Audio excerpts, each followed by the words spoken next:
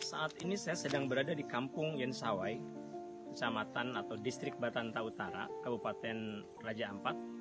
Ini kami sedang mengadakan eh, studi untuk melakukan rehabilitasi ekosistem pesisir, baik itu mangrove, padang lamun maupun eh, terumbu karang.